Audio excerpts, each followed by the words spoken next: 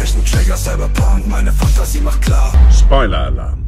Ich bin bei der CIA. Hallo Leute, ich grüße euch. Heute verrate ich euch, wie ihr eure ZIA-Sicherungskopien auf dem Citra VR-Emulator zum Laufen bekommt. Das ist nicht so kompliziert, wenn ihr hier aufpasst. Wichtig ist, ihr installiert euch erstmal SideQuest mit all seinen Freigaben auf eure Quest 3. Die Anleitung dazu ist in der Videobeschreibung. Befolgt bitte diese Anleitung Schritt für Schritt. Dann müsst ihr ein bisschen Zeit aufwenden und kommt dann wieder zu meinem Video zurück. Wenn ihr das gemacht habt, gebt ihr dann hier bei Search Games bei SideQuest Citra VR ein einfach. Dann kommt Citra VR und dann geht ihr auf Sideload und dann installiert euch das äh, SideQuest automatisch Citra VR in eure Quest 3. Dann geht ihr hier auf Manage Files on the Headset. Ihr geht auf Plus und dann geht ihr auf Make New Folder in this Folder, okay? Dann schreibt ihr 3DS Games zum Beispiel rein und geht auf Make Folder. Wenn ihr das gemacht habt, dann habt ihr schon mal euren Ordner, wo ihr da quasi eure Spiele draufladen tut, okay? Gut. So, jetzt werdet ihr feststellen, dass eure Spiele, wenn ihr die dann kopiert über den äh, Citra, nicht funktionieren im ZIA-Format so einfach bei dem Emulator. Denn ihr braucht einen 3DS ROM Decryptor.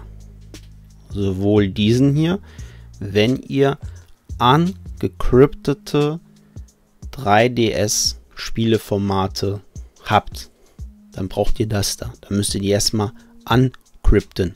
Ja, das wäre der Schritt in dieser Variante.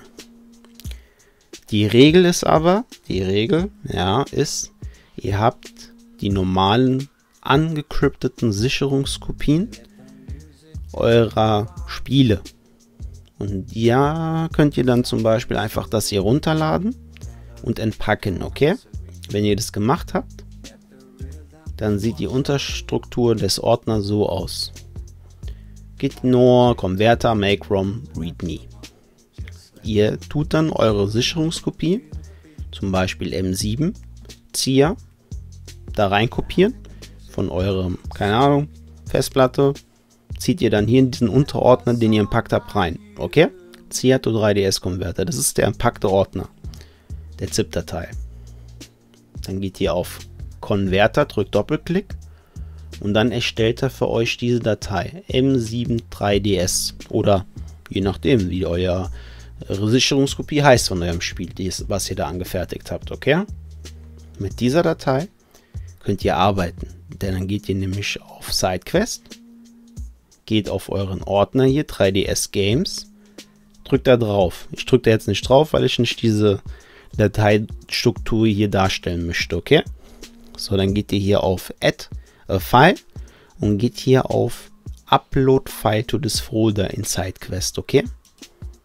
Und dann wählt ihr diese Datei aus. Diese Datei und dann passiert folgendes. Die Datei ist unter einem 3DS Games Ordner für euren Citra Emulator. Und dann könnt ihr das Spiel in der Regel ganz normal starten.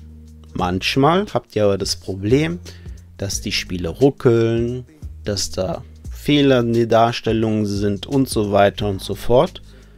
Das lösen wir auch zusammen und zwar im nächsten Video. Genau. Und alles weitere dann ist in der Videobeschreibung.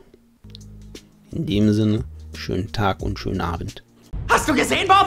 Ich hab's getan! Ich hab's getan, Bob! Ja! Ja!